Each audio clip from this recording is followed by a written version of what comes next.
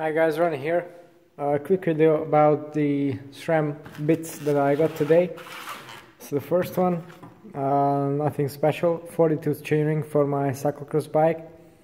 Uh, it should arrive soon and the problem with the stock one is that it comes with a 46 tooth single chainring so I think that's a bit too much considering that uh, Wout van Aert and the other pros were using 42s when racing, so I think 40 will be a much more suitable uh, application for, for my cyclocross bike. And then I got something a bit more special here. This is a SRAM Red uh, 22 mechanical rear derailleur and I have to tell you it's beautiful also comes with the new graphics as seen on the ETAP version. Uh, and I got this for my TT bike, uh, one by setup. Uh, as you can see, I have the Force One uh, derailleur up on there. And to be honest, uh, the idea of using a Red 22 with an oversized pulley system as one by has been in my head since day one, since basically I built this setup. And uh, soon I'm going to try it out. Uh, one problem that I have with this Force One derailleur is that it keeps the chain super tight even on the lowest, lowest cog, the tallest gear, and thus uh, robbing a bit of efficiency and also uh, the narrow wide pulley wheels from ceramic speed they engage the chain very very tightly. So I think there's a lot of friction even if I just back pedal right there. Yes it has huge chain security but also adds a lot of friction so I think that's not really necessary for a time trial bike.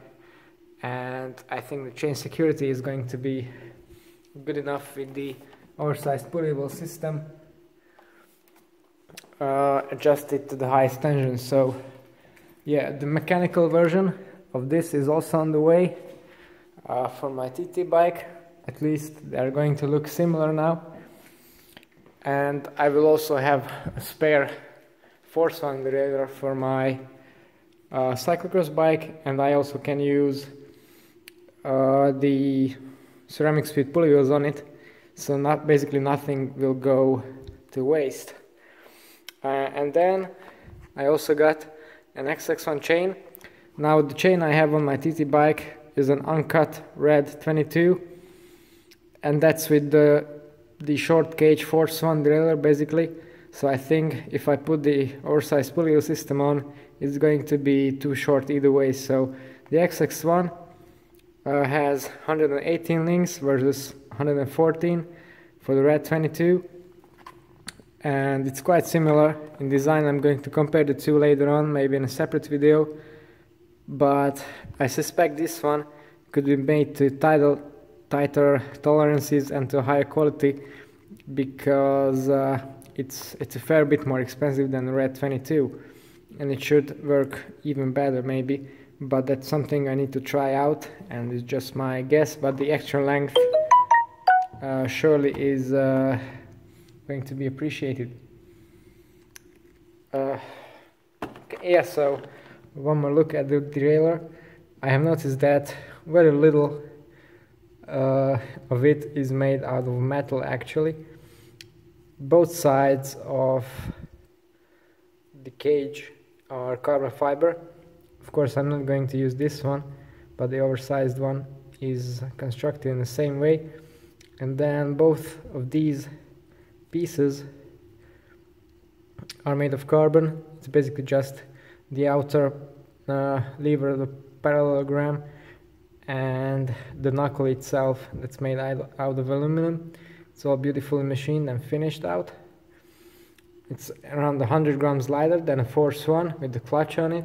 So it's well weight savings not that important in time but it should be a lot more sleeker so maybe there's a tiny tiny marginal aero gain on there as well because the force one is quite bulky with its uh, with its clutch basically just big bulk right here as I'm showing you the finger so we'll see how it works. I think the chain security is going to be good enough with this because I've got the arc chainring on which has huge very tall teeth so I think the engagement is going to be pretty safe on there. Okay so this is pretty much it. Uh, this, these are the things I got today. Uh, hopefully I'll be uh, able to try out these uh, modifications very soon. And if you like to see the results then of course don't forget to tune into my channel and subscribe. Thanks for watching and see you next time